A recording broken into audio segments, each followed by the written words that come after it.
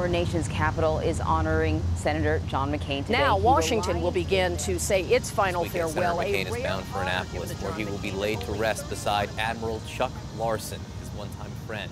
Usually when I come here, I'm not thinking of John McCain, but today I am. I was platoon leader with the 4th Infantry Division in Vietnam, 19, November of 68 to November of 69. So some of my folks are on the wall. I did about three or four tours on the USS Bainbridge DLGN 25. I served in Vietnam twice. In 1970, I went there, and on April 28, 1970, I was in a plane crash in a gunship at AC 119. And it took me a long time to get over and understand and mourn the loss of my crewmates and mourn the loss of all the people on this wall behind me. McCain knew and understood what I'm talking about, and I respected him for it. No, my unit came home from Vietnam in December in 1970.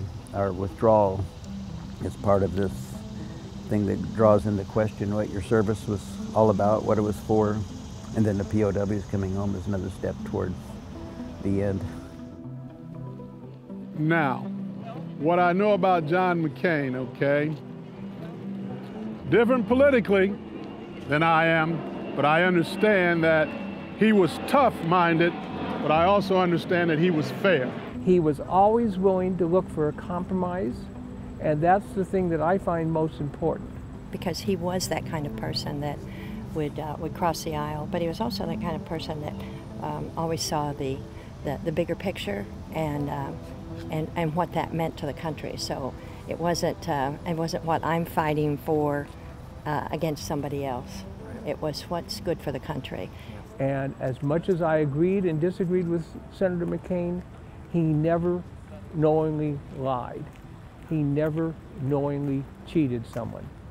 He was an honorable man And um, yeah, we've lost a, a, a we've lost a special person.